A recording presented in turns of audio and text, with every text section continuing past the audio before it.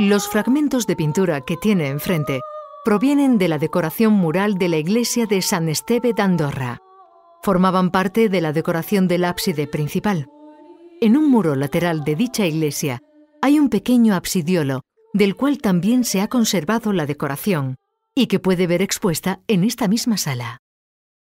El ábside principal de San Esteve d'Andorra estaba presidido en la parte alta por una figura de Cristo en majestad, rodeada por los cuatro símbolos del tetramorfos. El único que se conserva de este conjunto es la figura de este toro alado, que es el símbolo del evangelista Lucas. Todavía en el ábside principal, pero en la parte inferior, había cuatro grandes escenas dedicadas a la pasión de Cristo. De una de estas escenas proviene la bella imagen del Cristo con la corona de espinas que puede ver aquí. Desde el punto de vista estilístico, las pinturas de San Esteban de Andorra son un ejemplo muy notable de la repercusión que tuvo en Cataluña el denominado arte 1200 o estilo 1200.